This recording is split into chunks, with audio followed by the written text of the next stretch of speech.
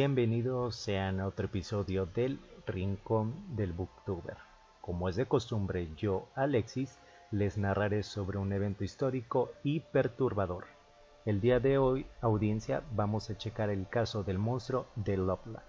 La rana de Lopland, mejor conocida, es una criatura que ha sido descrita con rasgos humanoides. Su primer avistamiento tuvo lugar en la ciudad de Lopland, Ohio, en Estados Unidos, aunque hasta la fecha no existen evidencias físicas que comprueben su existencia.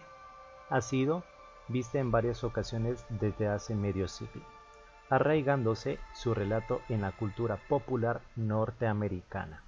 Su primer avistamiento de este mítico animal se remonta al año de 1955, cuando un hombre afirmó haberse cruzado con tres criaturas de casi 90 centímetros de altura.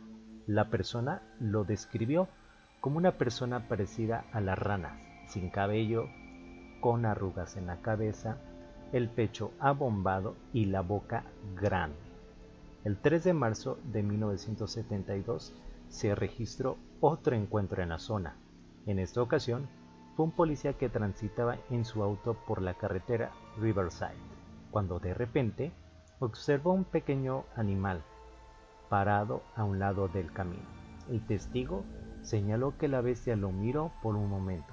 Después saltó la valla de seguridad y se fue con rumbo al río Little Miami.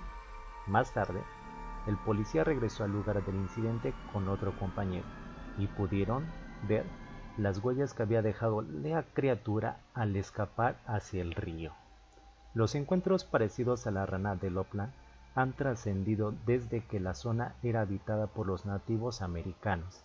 Existen relatos de los indios Shawn sobre este avistamiento de una bestia llamada Hook, una extraña criatura humanoide con aspecto de reptil con la que se cruzaban mientras cazaban.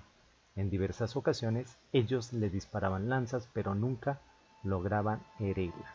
Esta criatura Simplemente observaba, pero después desaparecía en el río.